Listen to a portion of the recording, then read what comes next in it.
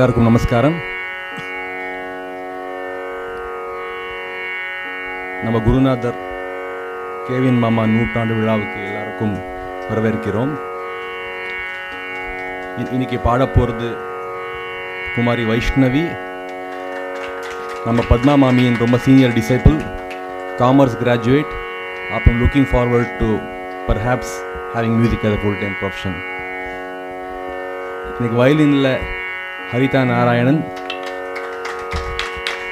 is disciple of great vidwan Shri Delhi P Sundar Rajan and daughter of great vidwan Shri Neyveli Narayanan sir இன்னைக்கு மிருதங்கத்தில் அவர் own Sriram sir disciple of Shri Arjun Ganesh தம்புராவில் இன்னைக்கு யுவராஜ். இன்னைக்கு chief guest நமக்கு ரொம்ப நமக்கு நமக்கு ரொம்ப ரொம்ப நெருங்கியவர் ஸ்ரீ எம்பார் கஸ்தூரி சார் அங்கே வந்ததுக்கு ரொம்ப தேங்க்ஸ் கச்சேரிக்கு அப்புறம் குழந்தைகளுக்கு ஆசீர்வச்சனம் சொல்லுவார். சொல்லுவார் தேங்க்யூ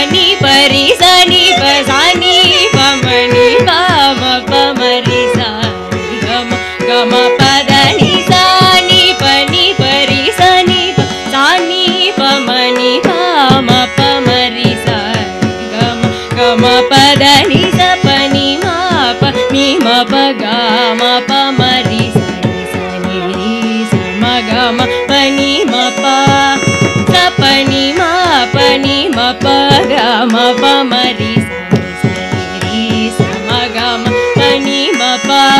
निपमरि सा पमरि सा मरि सारि सा। पप स पानि पपा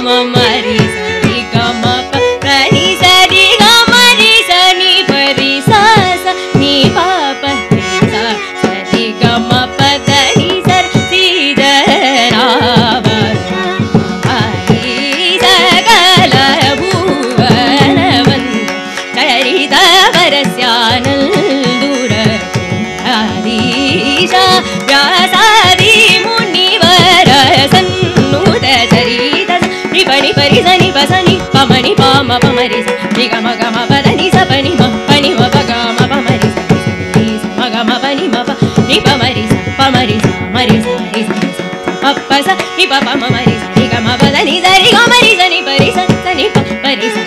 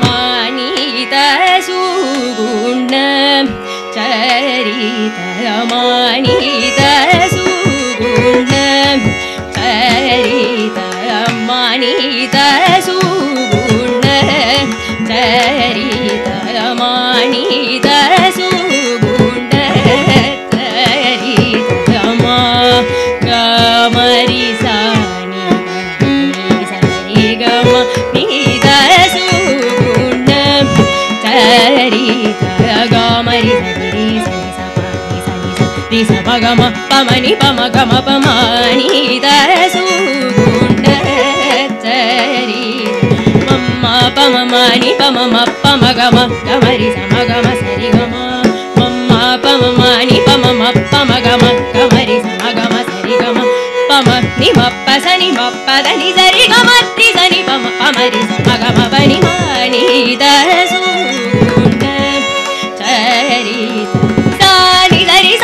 సని బసని పమని పమగ పమగ మరి సరి సరి మరి సని పమగ మ ప ని పమ పని సని పమగ మ పదని సని సరి సా బసని పమని పమగ పమగ మరి సరి మరి పమగ మ పమ పని సని పమగ మ పదని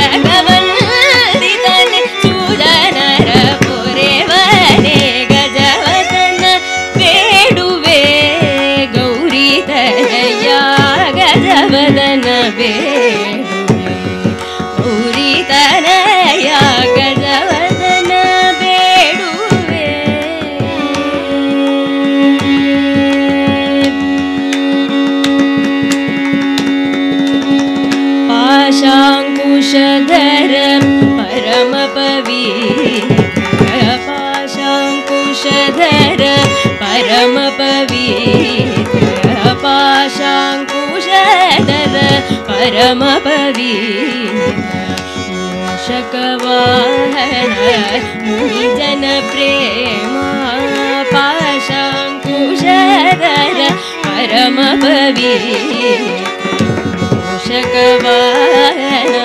मुनिजनप्रेमा मोदति नय पादवतोरो साधुवन्दितने। आदर ವಂದಿತನೆ ಆದರದಿಂದಲಿ ಮೋದತಿ ನಿನ್ನಯ ಪಾದವ ತೋರೋ ಸಾಧು ವಂದಿತನೆ ಆದರದಿಂದಲಿ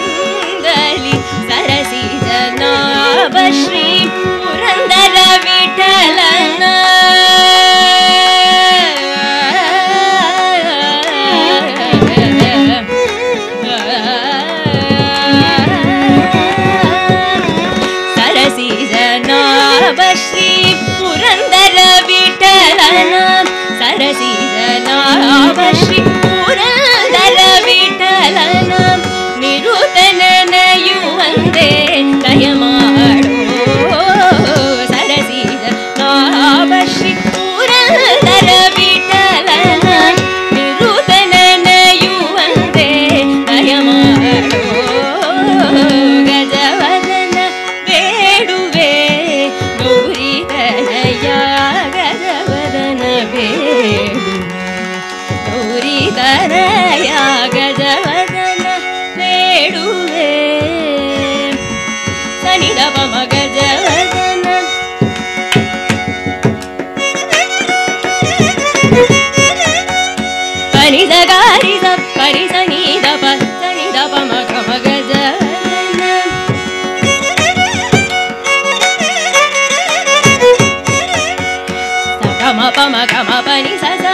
పాపమక్కరి సమగజవదన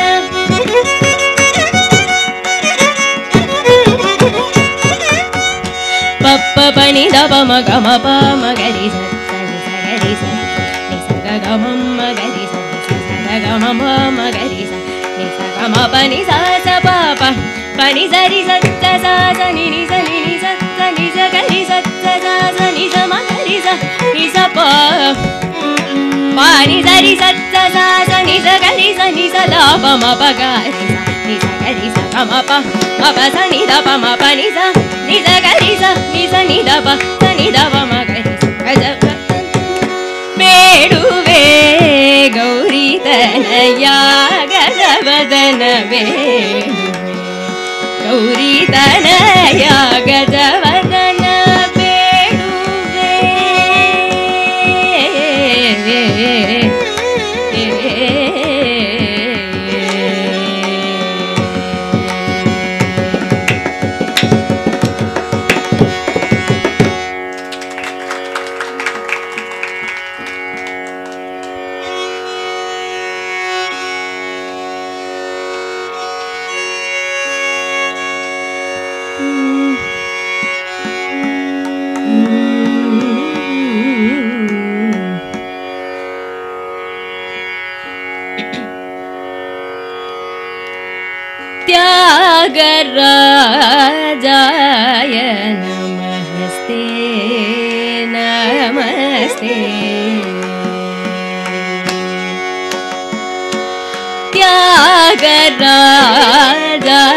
Yeah.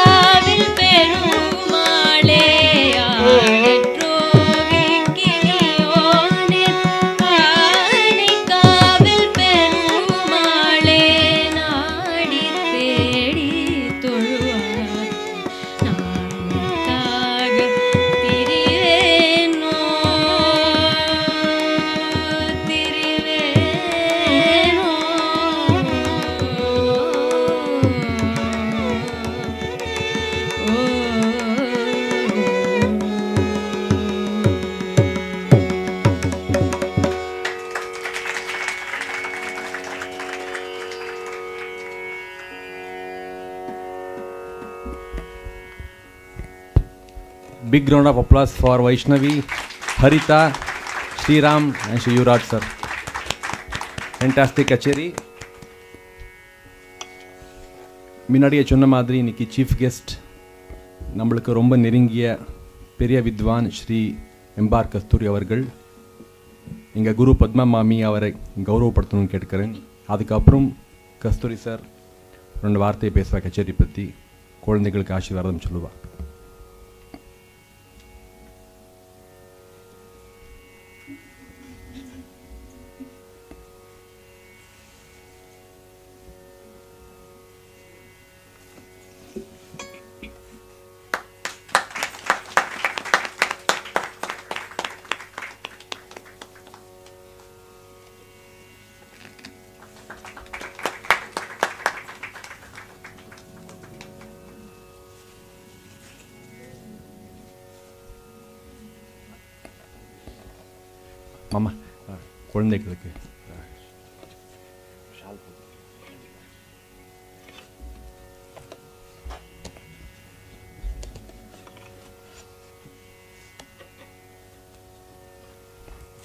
वैष्णवी।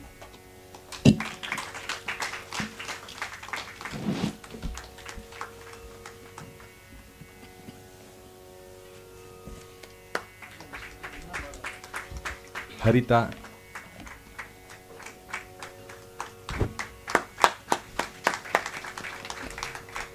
श्रीराम।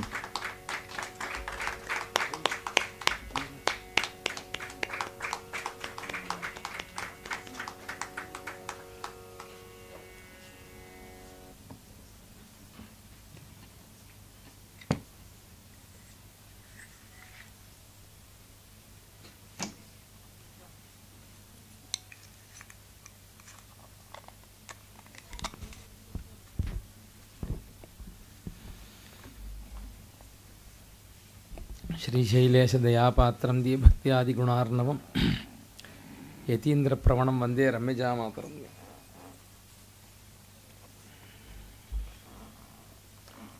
பசுர்வேத்தி சிசுர்வேத்தி வேத்தி கானரசம் பணிகி. அப்படின்னு ஆர்ஷமான வாக்கு. சங்கீதம் கேட்டால் கல்லும் உருகும்னு சொல்லுவா இல்லையா? நம்ம சம்பிரதாயங்களில் சொல்லுவாள் ஒரு நல்ல சங்கீதம். எப்படி பாடுறா அப்படின்னு பாட்டு எப்படி இருக்கு? காளிந்தி ஜல கல்லோல கோலாகல குதூகலி அப்படின்னு சொல்கிறார் கிருஷ்ணன் வேணுகானம் பண்ணது. பர்ஹாபீடம் நடவரவபுகு கர்ணயோ கர்ணிகாரம் பிப்ரத்வாசா கனககபிஷம் வைஜயந்தீஞ்ச மாலாம் ரந்திரான் வேணோர் அதரசுதய பூரயன் கோபபிருந்தை பிருந்தாரண்யம் ஸ்வபதரமணம் பிராவிசதி கீத கீர்த்திஹி. மரம்லாம் அப்படியே கீழே பூமியை தொடுறது வளையிறது புஷ்பம் பூக்கிறது தேன் கொட்டுறது. காளிந்தி ஜன கல்லோல கோலாகல குதூகலி என்று போகிற அந்த யமுன ஜலம் அப்படியே தேங்கி நிற்கிறதுங்க தேங்கி நிற்கிறதுங்க ஆவினம்லாம் மெய்க்கை மறந்ததுன்னு ஆழ்வார்கள்லாம் பாடுறா. இந்த சங்கீதங்கிறது வந்து ஒரு பெரிய சுகிருதம் உலகத்தில். இது வந்து ஒரு சாதாரணமாக கிடைக்கக்கூடிய வஸ்து இல்லை. இந்த சங்கீதம் கிடைக்கணும். சங்கீதம் கிடைச்ச பிற்பாடு வைராக்கியமும் பக்தியும் கிடைக்கணும். பூர்த்தி ஆகிடும் அப்போ. சங்கீதம் அப்போ பூர்த்தி ஆகிடும் இல்லைன்னா மாட்டின்ருவோம் வெறும் சங்கீதம் கிடச்சி ரொம்ப மகாத்வாகாங்ஷியாக இருந்தான்னா அதாவது ரொம்ப ஒரு ராஜசம உலகத்தை நம்ம கான்குவர் பண்ணணும். அது நடக்கும். பகவானே பண்ணுவான் அது இருந்துட்டுனாலும் கஷ்டம். அப்போ சங்கீதம் கிடைக்கணும். இந்த சங்கீதத்துக்கு உற்பத்தி ஸ்தானம் என்னங்கிறது தெரியணும். யாருன்னா பகவான்? இது தெரிஞ்சு சங்கீதத்துக்கு பிரயோஜனம் என்னன்னு மூணு தெரியணும். சங்கீதம் உபாசனை பண்ணுறாங்க முதல்ல சங்கீதம் கிடைக்கிறது கஷ்டம். அது சுலபமாக கிடைக்கிற விஷயம் இல்லை. அது கிடைச்ச பிற்பாடு அது எப்படி விநியோகம் பண்ண சத்விநியோகம். அது எப்படி நம்ம உபயோகப்படுத்தணும் அப்படிங்கிறது. எப்படி உபயோகப்படுத்தணும்னா ஒரு ஒரு லட்ச ரூபா பணம் இருந்தால் ஒரு முப்பதாயிரரூவா வீட்டுக்கு செலவழிச்சிக்கிறது ஒரு முப்பதாயிரரூவா இன்வெஸ்ட் பண்ணுறது இன்னொரு பாக்கி இருக்கிற நாற்பதாயிரரூபாயில் ஏழைகளுக்கு ஒரு தானம் பண்ணுறது இன்னொன்று இதை நல்ல செலவு பண்ணுறது பகவானுக்காக அப்போ பணத்துக்கு அந்த மாதிரி விநியோகம் இருக்கு இல்லையா? அப்போ சங்கீதத்துக்கும் தியாகராய சுவாமிகள் அவர் சம்பாதிச்சது முழுக்க என்ன பண்ணாருன்னா எம்பெருமானுக்கே கொடுத்தார். ஒரு கால் சங்கீத வித்வான்களுக்கு அந்த மாதிரி முடியலைன்னா இப்போ நான் சொன்ன மாதிரி அதை பைஃபர்கேட் பண்ணிக்கணும். அப்படின்னு சொல்லித்தரார் நான் சொல்லலை. இவன் யார் உபன்யாசம் பண்ணுறதுக்கு எங்களுக்கு சொல்கிறதுக்குன்னு சங்கீத வித்வான்கள்லாம் கேட்பார் இல்லையா? அதுக்காக சொல்கிறேன் உள்ளுக்குள்ளே நுழைய சங்கீதம் வந்துருத்து அப்படின்னா அதில் நுழையும் பொழுது இந்த ஜாக்கிரதையோட நுழையணும்னு அவர் நம்ம சொல்லித்தரார்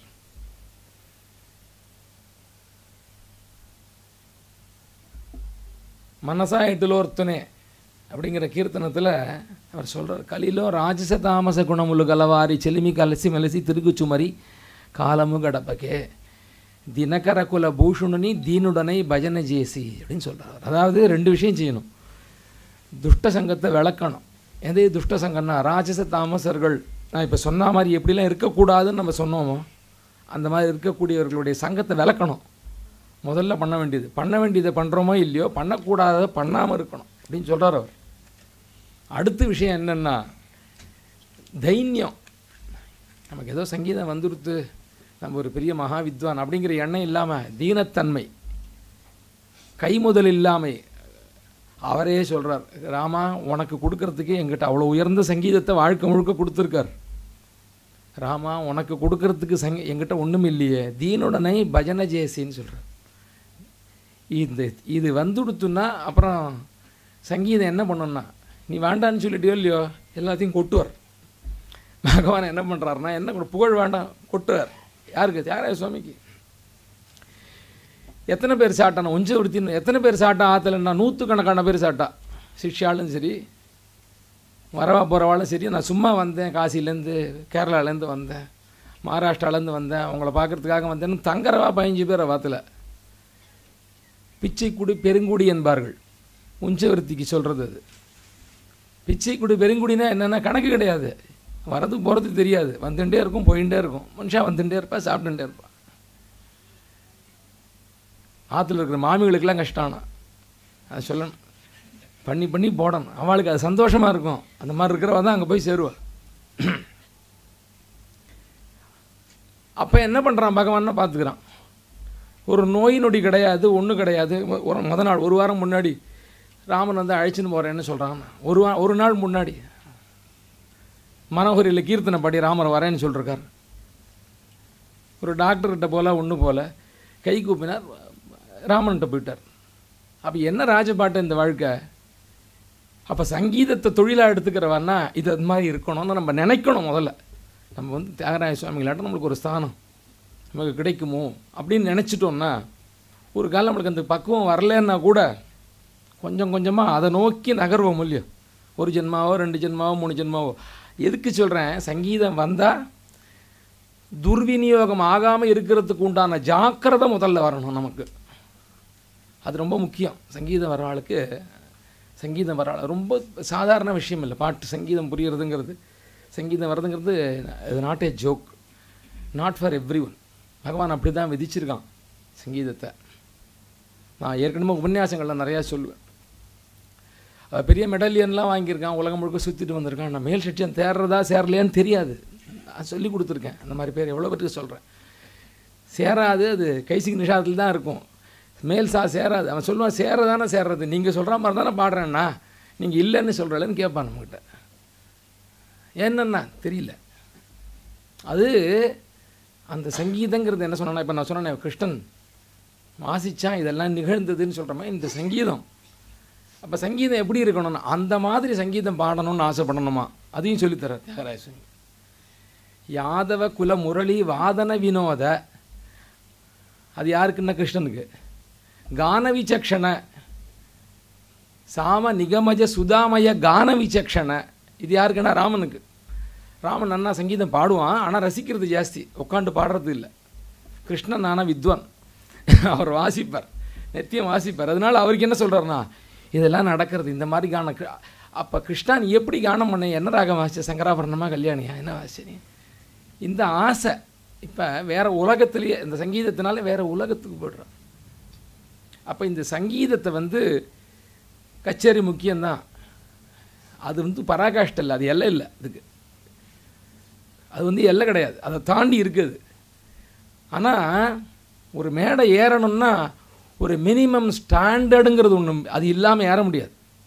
யாராக இருந்தாலும் சரி. நன்னா பாடுறா சுமாராக பாடுறா ஒஸ்தியாக பாடுறா ஓஹோன்னு பாடுறா சுமாராக வாசிக்கிறா நன்னா வாசிக்கிறா. அதெல்லாம் அப்புறம். முதல்ல மேடை ஏறி உட்காந்து பாடுறதுன்னா ஒரு குறைஞ்சபட்சம் ஒரு மினிமம் ஸ்டாண்டர்டு உண்டு அது. அது எல்லோரும் தாண்டினவா தான் இங்கே இருக்கிறவன் எல்லோரும் நன்னா பாடுறா நன்னா வாசிக்கிறேன் அதுவே பெரிய யோக்கியதை நான் என்ன சொல்ல வரேன்? அதுதான் சொல்லலை. இனிமேல் தான் சொல்ல போகிறேன் அது ஏறுறதே ஒரு யோக்கியதை அது எல்லாருக்கும் கிடைக்கிற விஷயம் இல்லை அது ஒரு யோக்கியதை ரெண்டாவது விஷயம் இந்த ஸ்டேஜை பாய் நான் வந்து நேற்றுக்கு இப்படி உட்காந்து பாடினேன். பின்னாடி திரும்பி பார்க்கல.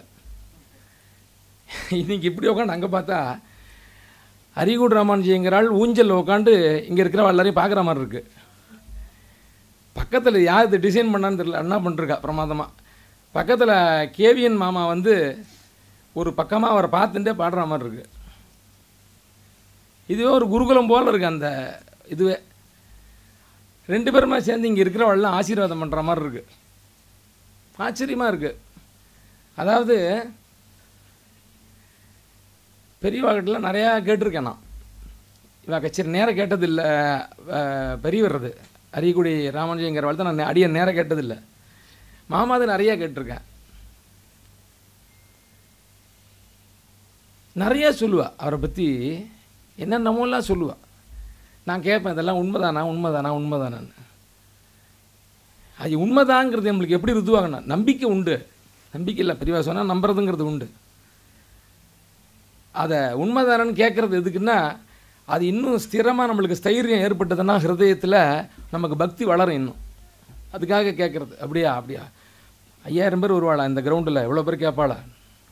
ஒருத்தர் சொன்னால் இன்னூத்தட்டு போய் ஐங்கர் வாழ் கச்சேரி கேட்டிருக்கேளா இங்கே செம்பவர் ரொம்ப கேட்டிருக்கல எங்கே நடக்கும் கச்சேரி? இங்கே தாண்டா நடக்கும். எப்படி பாடுவார் இப்படி பாடுவார். எப்படி இருக்கும் கச்சேரி கேட்குறதுக்கு? ஒருத்தர் ஒருத்தர் பத்து பேர்கிட்ட அதை சேகரிக்கிறது. எப்படி பாடுவார் எப்படி பாடுவார் எப்படி பாடுவார். ஒருத்தர் ஒருத்தர் ஒன்று ஒன்று சொல்லுவாள் ஒருத்தர் அவ அவளுடைய ஞானத்துக்கு தகுந்த மாதிரி அதை சொல்லுவாள் அந்தந்த ஞானத்துக்கு தகுந்த மாதிரி அந்த பாட்டு இருந்திருக்கு அந்த காலத்தில். ஒருத்தர் சொல்லுவார் அந்த காந்தார மத்தியமெல்லாம் அப்படியே சுற்றின்னு இருக்கிற அந்த கிரவுண்டை என் காதை விட்டு போக மாட்டேங்கிறது ஐயங்கார் படையின காம்போஜி போக மாட்டேங்கிறதுங்கிற அப்படின்னு சொல்லுவார் ஒருத்தர். இன்னொரு சங்கீதக்காரர் கச்சேரி மேடை பாடுறவர் மேடையில் பாடுறாருன்னு சொன்னார் அது என்னமோடா தெரியல? நானும் இரநூறு முந்நூறு கச்சேரி கேட்டிருக்கேன் ஒரு இடத்துல கூட ஸ்லிப்பே ஆகாது அவருக்கு. ஸ்ருதியாக விளங்காது ஸ்லிப்பே ஆகாது. நாமும் பத்து கச்சேரி பாடினா ரெண்டு கச்சேரி மூணு கச்சேரியில் பத்து இடத்துல ஸ்லிப் ஆகுது நன்னா தான் பாடுறவர் அவர். அவர் நன்னா பாடுறவர். பொய்யா சுமாராக இல்லை. நன்னா பாடுறவர் தான். அது ஸ்லிப் இல்லாமல் அப்படி பாடுறதுக்கு அது என்ன சாதனையான்னு தெரியல அப்படின்னு சொல்கிறார் அவர். அவரை குறைச்சி சொல்லலை. ஐயங்காருடைய மேன்மை அப்படி. அந்த மாதிரி பாடுறது ஒரு பரம்பரை. சங்கீதங்கிறது தனியாக ஒரு ஜாதி அது. சங்கீதக்காரங்கிறது தனி ஜாதின்னு நான் சொல்லுவேன். அதில் இந்த பிராமண வைசியன் சத்திரியன் சூத்திரன் இந்த ஜாதிலாம் அதில் கிடையாது. பொதுவாக சொல்கிறேன் இல்லையா? எல்லாத்துலேயும் இருக்கா மகா வித்வான்கள் இருக்குது எத்தனை பேர் இருக்கா? இப்போ மாயாதீத சூரியப்னு ஒரு கீர்த்தனை முந்தானத்தை பாடின ஒரு இடத்துல. யார் பண்ணா பிராமணன் நான் பண்ண அந்த கீர்த்தனை. பாடல் என்ன பிராமணன்ல நல்லா பாடுவா? நல்லா பாடுவா? அன்ன அந்திலேருந்து இன்னி வரைக்கும் என்றைக்கும் பாடுவா இனிமேலும் பாடுவா. அதனால் நம்மளுக்கு சங்கீதத்தில் வித்தியாசமும் கிடையாது. அப்போ இந்த ஒரு மேடை ஏறுறதுக்கு மினிமமாக ஒரு ஸ்டாண்டர்ட் இருக்குங்கிறத அது. எல்லாருமே இருக்குது வழக்கு மேலே இந்த ஆசீர்வாதம். முதல் பாயிண்ட் என்ன அப்படின்னா இந்த பரம்பரை சொத்து. எதுக்காக இதை நான் சொன்னேன்னா பரம்பரை சொத்து.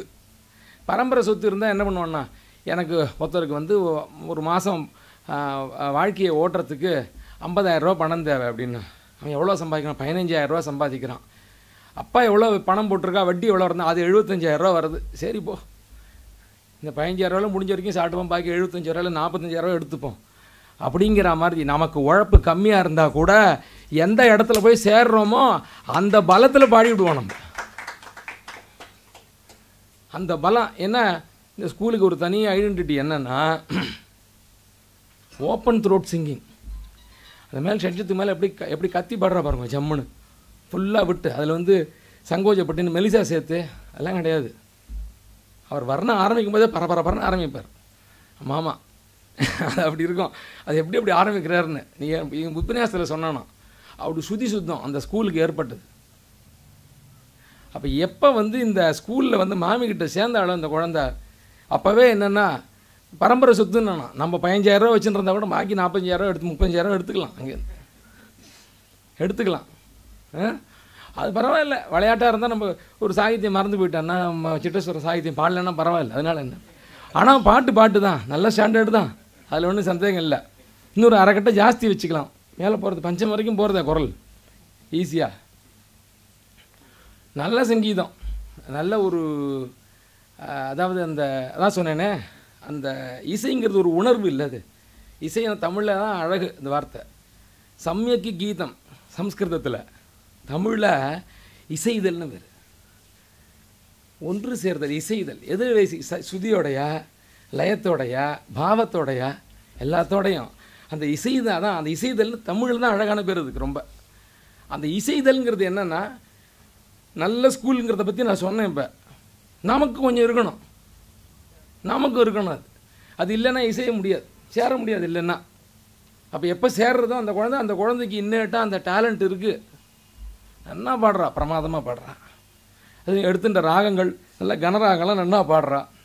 மேலெல்லாம் நல்லா அழுத்தமாக பாடுறா அழுத்தி பாடுறா மேலெல்லாம். கல்பனை சுரம் ஓடணும். மனப்பாடம் பண்ணி பாட முடியாது கச்சேரியில். ஏதோ கொஞ்சம் ஓரளவு ஓரளவு பத்து நாலு ஆவர்த்தம் அஞ்சு ஆவர்த்தம் மனப்பாடம் பண்ணு அதுக்கு மேலே பதினஞ்சு ஆவர்த்தம் இருபது ஆவர்த்தம் பாடணும்னா ஓடணுமே. அழகான ஆட்டையில் வரணும். வேகடா பிரமாதமான ஒரு கீர்த்தனை. எல்லா கம்போசர்ஸோட கீர்த்தனை.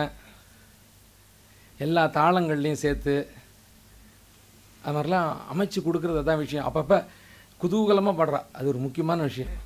நம்ம சொல்லணும் அது. அதாவது சிரிச்சுட்டே பாடுறா ஆ சந்தோஷமாக பாடுறா அப்படி தான் பாடணும் பார்த்தா நமக்கே ஐயோ அப்படின்னு இருந்ததுன்னா. ஏன் இப்படி அழுத முஞ்சியா இருக்கா? அழுமுஞ்சியாக இருக்கு பாடுறாளே. என்ன பாடுறாளே இல்லையா? என்னது இப்படி இருக்கா? அப்படின்னு இல்லாமல் சிரிச்சுட்டே பாடணும் அது குறைச்சலே இல்லை. நிறையா சிரிக்கிறா. நன்னா சிரிக்கிறா நிறையா சிரிக்கிறா. எங்கள் காலத்தில் ஒரு ப- கௌரி பொம்மை உண்டு. சிரிச்சா மாதிரி இருக்கும் அந்த ஞாபகப்படுத்துறது எனக்கு. சிரிச்ச சிரிச்சிட்டா மாதிரி சிரிச்சா மாதிரி இருக்காளேன்னு. அப்படின்னு. அப்போ அதனால் நல்ல ஒரு பாரம்பரியத்தில் வந்தது முதல்ல அனுக அனுகிரகம். அந்த குழந்தைக்கு அந்த அவளுடைய இன்ஸ்டிங்க்டில் அந்த இசைங்கிறது இருக்கிறது. அடுத்த ஒரு பெரிய விசேஷம். எவ்வளவோ உழைக்கலாம். சங்கீதத்துக்கு நன்னா உழைக்கலாம்.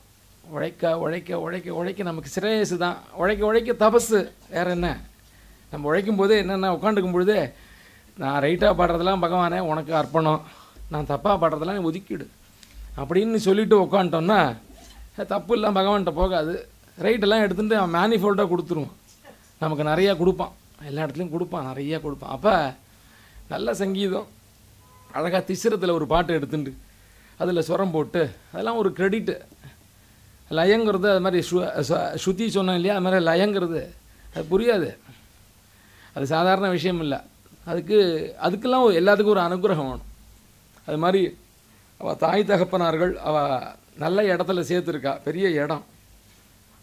மாமி வந்து பிரமாதமாக தயார் பண்ணிருக்கா இந்த குழந்தைய.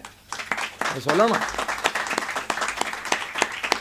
அதை தான் நான் அதுதான் நான் பரம்பரை சொத்து பரம்பரை சுத்துங்கிறேன் நான். அது பரம்பரை சொத்து அவள் ஒரு மாதிரி ரெடி பண்ணி விடுவான் நம்மளை. நம்ம சும்மா பாடுறவாளாக இருந்தாலும் நல்லா ரெடி பண்ணிவிடுவான் நன்னா பாடுறாலும் நன்னாவே ரெடி பண்ணுறா அதனால் ரொம்ப நல்ல சங்கீதம் இன்னைக்கு. நான் வந்து ஒரு கிட்டத்தட்ட எட்டு வருஷம் ஒம்பது வருஷம் கழிச்சு நேர் கச்சேரி கேட்குறேன் இப்போ தான் ரொம்ப நாள் ஆச்சு. கச்சேரி பாட ஆரம்பித்து உபன்யாசம் பண்ண ஆரம்பித்ததுலேருந்து நான் கச்சேரி கேட்குறதே இல்லை. முதல்ல சின்ன வயசில் நிறைய கச்சேரி கேட்பேன் தியாகராய உற்சவம் நடக்கும் குண்டூரில். எங்கள் அப்பா தான் ஏற்பாடு பண்ணுவார். நிறையா கச்சேரி கேட்போம். அதுக்கப்புறம் வாத்தியாரோட இருந்த மதுரை ஸ்ரீமான் ஸ்ரீ டி என் சேஷகோபாலன் முதல்ல புர்ரா சீதாராம சாஸ்திரிகள் அந்த தியாகராய உற்சவம் பண்ணுவார் குண்டூரில். அவர் அவர் நம்புனா பாடுவார் வைதிகம். நிறையா கச்சேரி கேட்டிருக்கேன். அதுக்கப்புறம் நிறையா கச்சேரி எங்கள் வாத்தியாரோட பின்னாடியே உட்காந்து ஒரு ஏழு வருஷம் சுற்றினேன் அப்போ என்ன பண்ணேன்னா கச்சேரி மாத்திரம் தான் கேட்டேன். வேறு ஒன்றுமே பண்ணலை சாப்பிட்றத தவிர. கச்சேரி மாத்திரம் கேட்டேன் ஒரு ஏழு வருஷம். அதுக்கப்புறம் வேறு ஏதோ தொ- தொழில் வந்துடுத்து மாறி போயிடுது அப்புறம் கிட்டத்தட்ட எட்டு வருஷம் கழிச்சு நேர் கச்சேரி உட்காந்து ஒரு கச்சேரி வர்ணத்துலேருந்து ஆரம்பித்து கடைசி வரைக்கும் இன்றைக்கி தான் கேட்டிருக்கேன். பாக்கி எல்லாம் யூடியூப் கச்சேரி அந்த கச்சேரி இந்த கச்சேரி நினச்ச போது நினச்ச மாதிரி கேட்குறது தான். முழுசாக கேட்கணும் கச்சேரி. முதல்லேருந்து கடைசி வரைக்கும் அது ஒரு தனி அனுபவம். அதில் எல்லாம் ரொம்ப அழகாக ராகங்கள் எடுத்துன்றது கனராகங்கள் எடுத்துன்றது. இந்த பின்னாடி பாடினது துக்கடா. அது கஜவதனா மாமா டியூன் பண்ணாதான். இந்த தன்யாசியில் அந்த வார்த்தை ஒதுக்கிறதுலையே தெரிஞ்சு போடும் நமக்கு. அது சேர்க்குறதுலையே ரெண்டு மூணு அஞ்சு சுரம் போடுறார. சுரம் கல்பனா சுரம் போடும் பொழுது நிரவல் பண்ணும் பொழுதும் அது என்னமோ ஏழுனா ஏழு அஞ்சுனா அஞ்சு மூணுனா மூணு பளிச்சு பளிச்சுன்னு விழும். அந்த கடைசியில் அது முடிகிற இடத்துல. அது தனி அது ஒரு அழகு. அவர் நிரவல் பண்ணுறது உலகத்திலே கிடையாது. நான் ரொம்ப சின்னவன் அதை பற்றி சொல்கிறதுக்கு இருந்தாலும் என்னை கூட்டு சொல்ல சொல்கிறாங்கிறதுனால சொல்கிறேன் நான். அப்படி ஒரு நிரவல் என்ன காலப்பிரமாணம்? அந்த காலப்பிரமாணத்தில் நிரவல். அதெல்லாம் நிறையா கேட்பான்னு நினைக்கிறேன் அவ. இன்னும் நிறைய கேட்கட்டும். நிறையா கேட்கணும். அண்ணா ரொம்ப வசதி. அண்ணா பாடுறா. கங்க்ராச்சுலேஷன்ஸ் வாத்தியார்களுக்கும் அவள் அப்பா அம்மாவுக்கும் அவன் வயலினை பற்றி சொல்லணும். நீங்கள் வந்தப்புறம் தான் தெரியும் எனக்கு. நெய்வேலி நாராயணன் அவருடைய குழந்தை டெல்லி சுந்தரராஜன் ஸ்டூடெண்ட்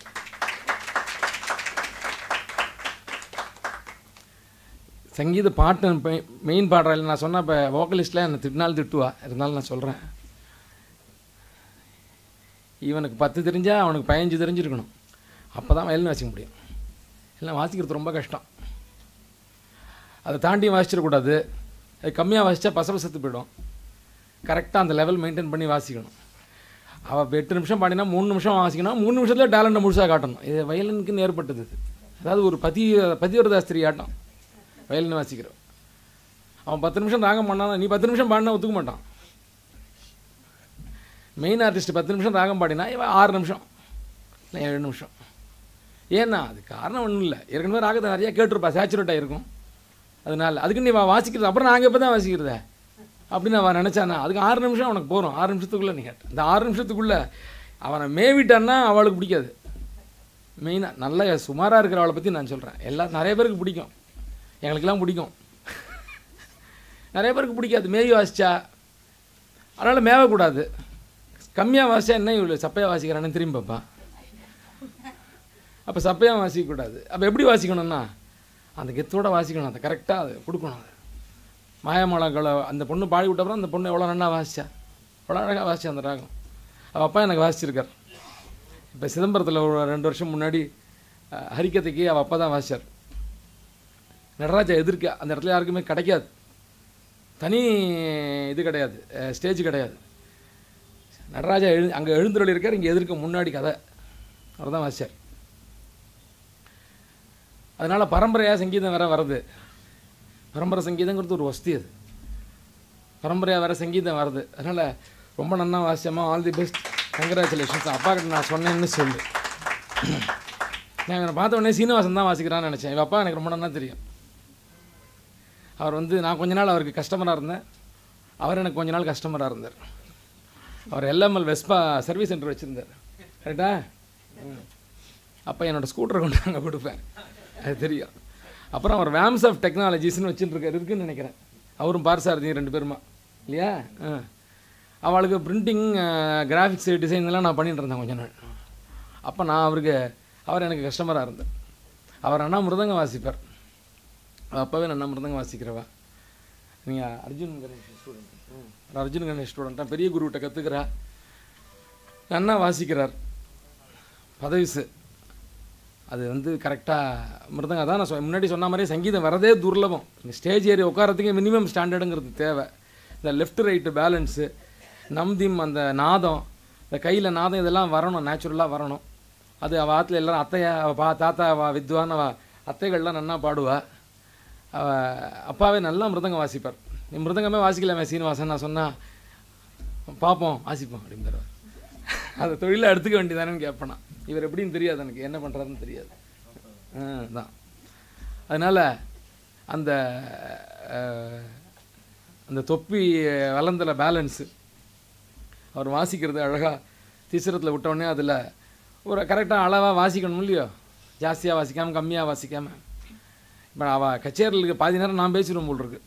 ரொம்ப நேரம் ஆயிடுத்து அதனால் நல்ல ஒரு கச்சேரி ரொம்ப வெரி ப்ராமிசிங் நான் வந்து இந்த குழந்தைக்கு வந்து நான் இப்போ தான் வெளியே கலவையிலே இங்கே பா ஓரிக்கையில் பாடிருக்கான்னு சொன்னான் அதுக்கப்புறம் மெட்ராஸில் இப்போ தான் சென்னையில் இப்போ தான் முதல்ல பாடுறான்னு சொன்னான் நல்ல தைரியம் இருக்குது நல்ல சாரீரம் இருக்குது நல்ல ஸ்கூல் இருக்குது நல்ல உழைப்பு நம்ம இன்னும் கொஞ்சம் ஏற்றி விட்டோம்னா அது எங்கேயோ போயிடும் அது சங்கீதம்.